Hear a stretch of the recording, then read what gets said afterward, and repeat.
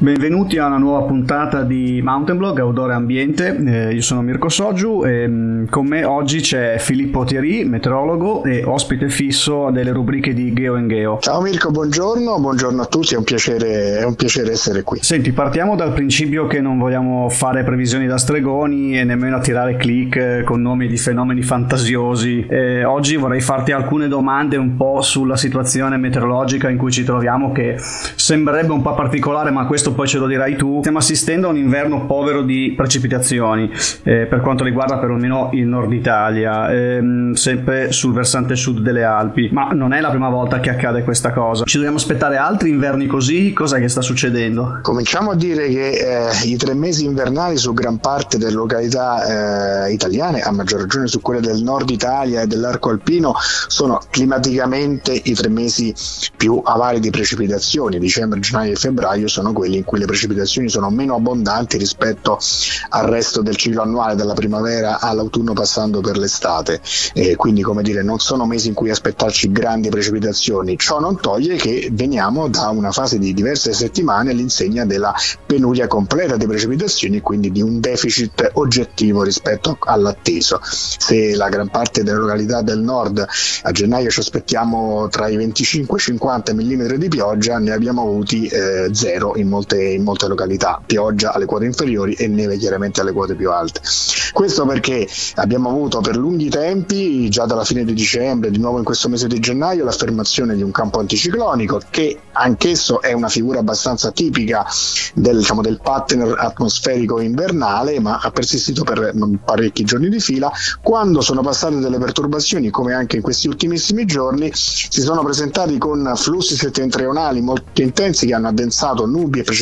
sul versante estero delle Alpi e, e lasciando invece venti di fenne, come sappiamo, secchi e anche piuttosto miti sul versante italiano. Invece poi la perturbazione si è ripresentata sulla, sul centro-sud, aggirando le Alpi dalla Porta del Rodano o della, o della Bora. Quindi le piogge, anche le nevicate a volte a quote basse hanno riguardato paradossalmente più la Puglia che, che le Alpi. E cosa dobbiamo aspettarci negli inverni futuri? Come dire, eh, gli scenari di cambiamenti climatici sono conclamati, evidenti evidenti li conosciamo, sappiamo che il eh, progressivo e probabile rallentamento della corrente a getto dovuto al fatto che le zone artiche si stanno scaldando molto più di eh, quelle delle medie latitudini e di, di, quelle tropicali eh, potrebbe portare a maggiore persistenza di situazioni di blocco, cioè quelle in cui i grandi campi di alta pressione, le grandi depressioni persistono più tempo sulle stesse zone, quindi ci possono essere zone in cui precipita più del normale e arrivano magari colate di aria più fredda del normale e zone in cui invece c'è l'anomalia di segno opposto, come sta accadendo in questo momento in, questo momento in Italia. Tu parli di queste correnti, quindi parli della circolazione generale atmosferica che sta pian pianino cambiando, ma immagino che non sia mai sempre stata la stessa. Eh, ci sono già stati inverni con questa configurazione? Allora, ci sono già stati inverni, sì, diciamo che nell'ultimo ventennio sicuramente abbiamo segnali eh, di eh, penuria di precipitazioni e di temperature più calde della norma nella stagione stagione eh, invernale percentuali più alte che in passato per il, il discorso che facevo prima sulla, sul cambiamento climatico che è già eh, evidente, non è più soltanto uno scenario di, di proiezione futura eh, purtroppo. Questo campo ad alta pressione che abbiamo adesso è dello stesso tipo di matrice di quello che troviamo d'estate? Il campo anticiclonico, diciamo, i campi di alta pressione sono sostanzialmente sempre, sempre gli stessi, cioè o quello di matrice azzorriana, quindi che dall'Atlantico si protende verso verso le longitudini europee del continente o quello eh, nord, nordafricano che eh, porta aria particolarmente mite e temperata dalle, appunto, dal continente africano sul Mediterraneo fino a volte all'Europa centro-settentrionale o quello russo-siberiano che è legato più a una configurazione invernale, cioè di tipo, di tipo termico. Eh, quello che cambia eh, tra l'alta pressione eh, invernale e quella estiva è soprattutto le condizioni di inversione termica che nella stagione autunnale, a maggior ragione invernali, avvengono perché l'aria è ovviamente più fredda che d'estate e quindi in situazioni di compressione anticiclonica ristagna nelle conche, nelle valli, nelle situazioni orograficamente depresse dà luogo alla formazione di, di nebbie, di bacchi di nubi basse e comunque spesso, indipendentemente se si formino o meno le nubi e le nebbie, al, appunto all'inversione termica che porta aria eh, molto mite in quota e invece soprattutto nelle ore notturne del primo mattino eh, aria eh, fredda ristagnare in basso, quindi paradossalmente, ma è un apparente paradosso, la temperatura è molto più fredda in pianura padana che non sulle Dolomiti o sulle Alpi. Questo è uno dei motivi per cui se un, in, abbiamo un inverno con questi anticiclone eh, così duraturo eh, ci troviamo che sulle Alpi oltre a non nevicare fa anche più caldo? Assolutamente, assolutamente perché sono appunto condizioni eh, di, di, di, anomalia più spiccate in inverno proprio perché in estate il meccanismo dell'inversione termica o non si realizza o si realizza in maniera molto meno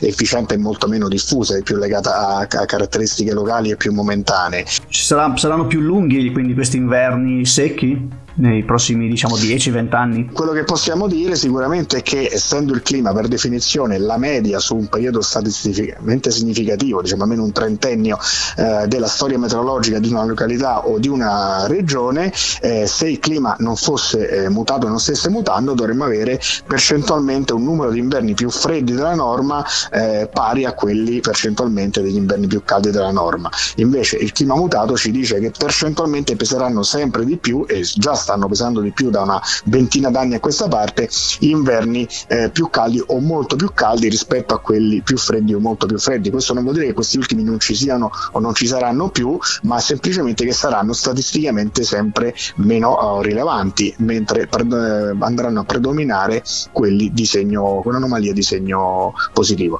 Poi spesso e volentieri inverno mite e, e inverno con precipitazioni abbondanti coincidono perché sappiamo che sulle Alpi le precipitazioni abbondanti importanti le portano le perturbazioni con correnti eh, dai quadranti meridionali, libecciate o sciroccate che vanno ad addensare eh, nubi e precipitazioni sul versante italiano della barriera alpina, quindi spesso correnti molto miti come appunto quelle sciroccali, però portano anche precipitazioni molto abbondanti che però in questi inverni perturbati ma anche molto miti sono nevosi ovviamente soltanto a quote alte, magari capitano eh, stagioni inverni molto piovosi con neve che però eh, riesce a cadere cadere solo dai 1500 metri in su, con spessori magari record, si sono registrati ultimamente anche inverni con 3-4 metri di neve, se non di più, su molte zone delle Alpi, ma soltanto alle quote più alte. Questo sappiamo che è un disastro dal punto di vista degli equilibri dell'ecosistema, perché la neve nei mesi invernali alle nostre latitudini eh, ci deve stare anche alle quote più basse. Senti, io lo so che un meteorologo non azzarda previsioni a più di tre giorni,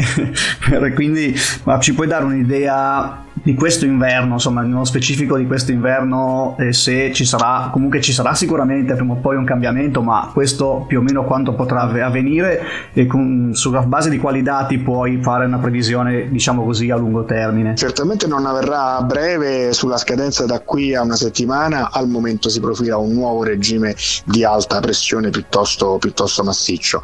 E qui siamo sulla predicibilità a breve e medio termine che possiamo così esplorare dal punto di vista meteorologico. Se ci sarà prima o poi un cambiamento, eh, la compensazione in meteorologia non esiste, soprattutto alla scala locale o, o, nazionale, cioè non è detto che siccome veniamo da un mese di precipitazioni assenti su molte zone del nord, allora poi avremo un mese di febbraio o di marzo con più precipitazioni, perché appunto non vale la legge di compensazione. Vuoi dare un qualche consiglio su come leggere le previsioni ai nostri lettori? Ma io il consiglio che do sempre è quello di far finta di essere dal medico, cioè nessuno di noi eh, portando delle analisi, delle lastre, delle risonanze, qualsiasi tipo di eh, indagine oggettiva sul proprio fisico, si accontenterebbe di vedere una previsione in forma grafica o magari ridotta a un'icona eh, o a un numerino. Vuole che lo specialista eh, gli eh, esprima la diagnosi e maggior ragione la prognosi e gli dedichi più tempo possibile, più la situazione magari è complessa perché riguarda non un banale raffreddore ma magari un quadro patologico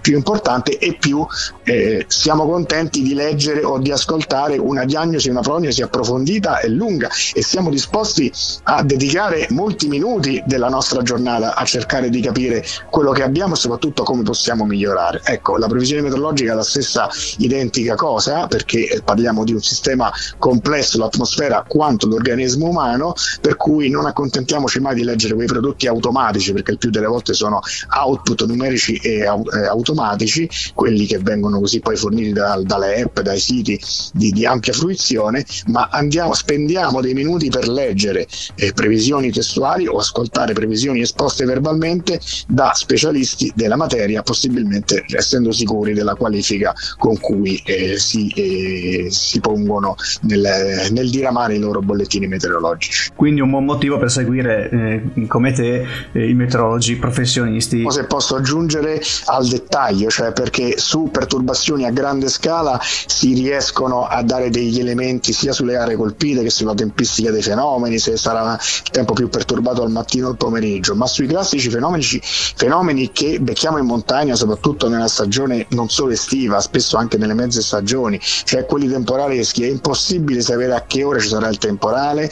o uh, se prenderà la cima su cui siamo o magari la valle a fianco. E noi non possiamo pretendere di fare pianificazioni di escursioni o di ferrate, di scalate sulla base di dettagli di questo tipo, dobbiamo accontentarci di sapere che magari domani sarà una giornata a rischio temporale su quella zona delle Alpi, allora se abbiamo in preventivo un'escursione, un'ascensione in zone molto esposte per esempio ai fulmini è il caso di rimandare. Senti Filippo, io ti ringrazio del tempo che ci hai concesso, eh, sei stato veramente molto dettagliato nelle informazioni che ci hai dato, ci sentiremo ancora magari per parlare magari di clima delle Alpi o anche di altre informazioni interessanti che riguardano la nostra atmosfera, insomma no, la, il clima che sta cambiando. Molto volentieri, intanto ti ringrazio, ringrazio io te per eh, lo spazio e per, la, per l'occasione insomma, di, di, di, fare delle informazioni su tematiche importanti. Grazie ancora, ciao Filippo. Grazie Mirko, grazie Dante, a presto. Io vi saluto e vi do appuntamento a una prossima puntata del podcast Outdoor Ambiente di Mountain Blog e vi ricordo sempre che